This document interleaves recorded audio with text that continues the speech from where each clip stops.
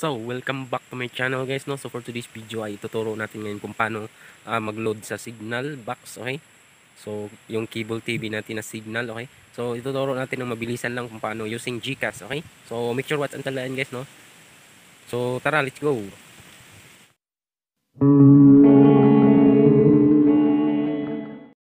So ngayon make sure um, may load kayo sa GCash, okay? So pupunta tayo sa GCash guys. So ngayon dapat alam niyo yung um, account number, okay, ng isang um, signal owner. Dapat alam niya yung account number dapat ibigay sa iyo, okay? So punta ka lang sa GCash, tapos buy load ka lang, okay? Ah, so ayun na guys, um, punta ka lang sa buy load, tapos lagay mo yung number mo, okay? Or basta active na number, lagay mo lang dyan. Basta pwede mag-text kan kasi andyan iti-text ang ah, pin number, okay? Na iano natin. Tapos next mo lang.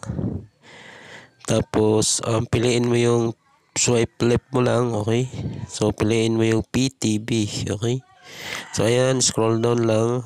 So ah, usually kasi ginagamit dito is 1 month 200. So yun po yung iloload natin, signal po, okay? Pero merong ibang option dyan, no? So, yun kasi yung niloload nila eh. Yung 200 kadalasan, okay? Sa signal. Iba naman po yung sa Pinoy GSAT, ganun. So, ito, buy 200, okay? So, ayan, nabili na natin ang load. Bali, may magte-text po yan sa inyo. Tapos, check mo na lang yung message mo. Okay? So, ayun na yung may nag-text na, okay? So, basahin lang natin. Tapos, kunin natin yung PIN number. Okay? So, ang gagawin mo guys, punta ka sa message, tapos copy mo yung pinakababa, okay? Tapos paste mo. Tapos, copy mo lang yung PIN number. Yun lang yung kukopyain nyo, okay? Tapos, punta ka sa signal.tv. Open mo yung browser mo, Chrome man yan. Tapos, type mo signal.tv, okay? Tapos, papasok ka dyan sa website na yan. Scroll down mo lang, makikita mo yung prepaid account number. So, dapat alam mo yung account number, no? Tapos, i, ano mo lang, i-paste mo lang, okay?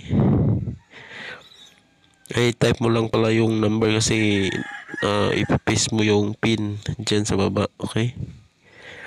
So, ayan, na uh, type na natin yung account number, okay? Dapat kabisado yung account number, ha? Tapos paste mo lang, tapos kopyain mo lang yung code na yan, 893. Iba-iba po yung code na lalabas. So, ayan, um, type mo lang guys, tapos scroll down, then submit. Okay, wait, wait lang, wait ka lang mga uh, 5 seconds, ganun.